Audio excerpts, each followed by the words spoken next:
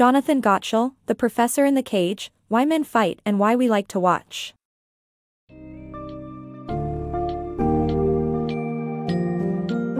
Step into the world of human conflict, competition, and violence through the lens of Jonathan Gottschall's The Professor in the Cage, Why Men Fight and Why We Like to Watch.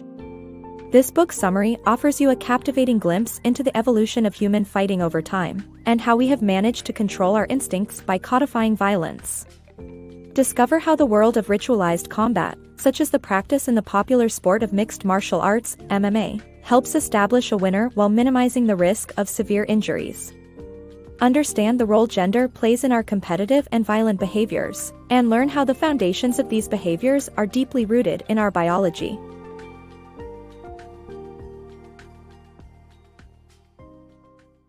The evolution of fighting.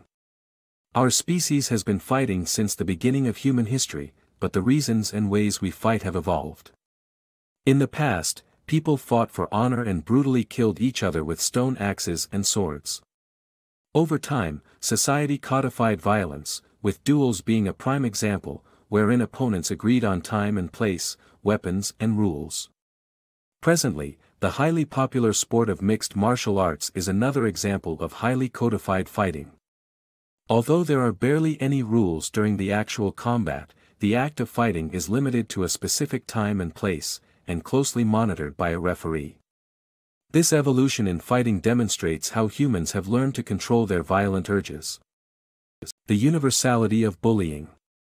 Bullying is a universal issue that transcends age and cultural boundaries, with the use of violence being an effective tool for bullies to establish social status.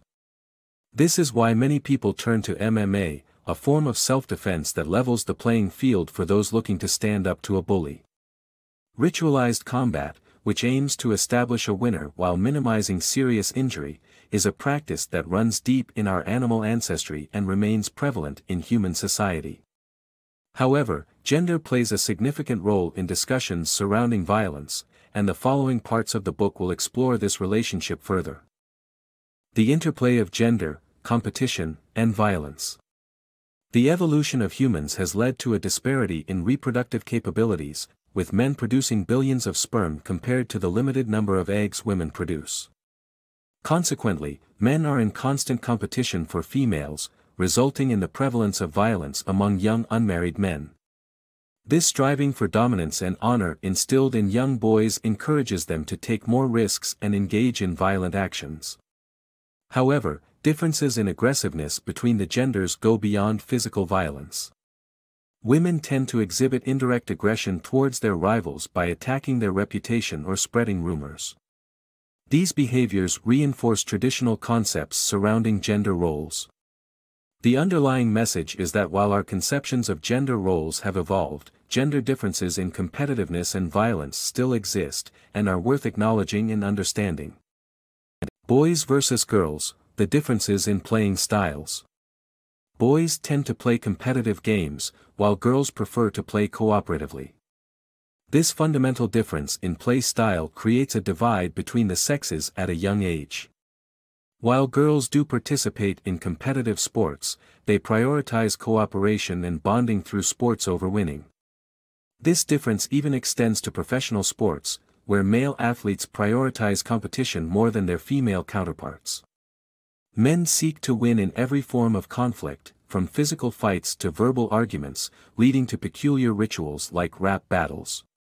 These rituals serve a vital function in establishing hierarchy and social roles while limiting violence to maintain a hierarchically organized society.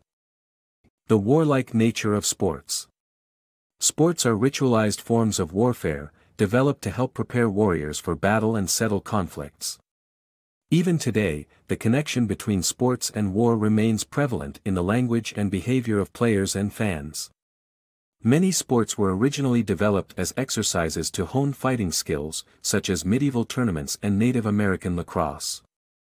Fans dress in their team's colors, sing battle songs, and demand full effort from players, all of which have a historic connection to war. While sports can help groups fight for supremacy in a non-violent manner than full-blown war, sometimes the sport itself can lead to violence, as seen in the 1790 conflict between the Creeks and Choctaws after a game of lacrosse. Overall, sports continue to serve as a way for people to channel their warlike instincts and connect with ancient traditions of competition and conflict.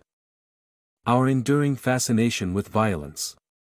Despite being more civilized than our ancestors, we have not lost our hunger for violence as entertainment. From the Roman Colosseum to modern-day books, movies, and sports such as MMA fights, violence remains central to popular culture. People are drawn to violence because it shows us the most exciting and appalling sides of humanity. Moreover, violence and sex are often intertwined as both are considered thrilling and exciting. Though we have replaced real suffering with fictionalized violence, our enduring fascination with violence shows no signs of diminishing. The brutal world of MMA. MMA, or mixed martial arts, is a combat sport that allows the different martial arts to prove their respective claims. It started because of a desire to recreate the old-fashioned sports used to prepare for war. In MMA, the strongest usually prevails, and the best fighter dominates. Unlike other sports where the underdog can win, MMA is closer to reality. It's the closest thing to a real, no-holds-barred street fight, and it stands out from most Asian martial arts traditions because of its lack of a religious component.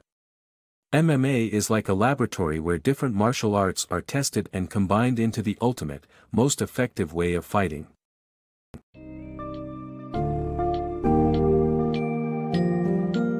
Upon concluding this book summary of The Professor in the Cage, Readers will have gained a fresh perspective on human conflict and the deeply entrenched connection between violence and competition in our species. Through exploring the history and rationale behind the evolution of duels and codifying violence, as well as the universal presence of bullies, we come to better understand human nature. Gottschall further enlightens us on the influence of gender and biological differences in the way men and women engage in competition and aggression. Finally, in examining the raw and realistic world of MMA, the author provides an intriguing depiction of the physical and emotional appeal of violence in our society,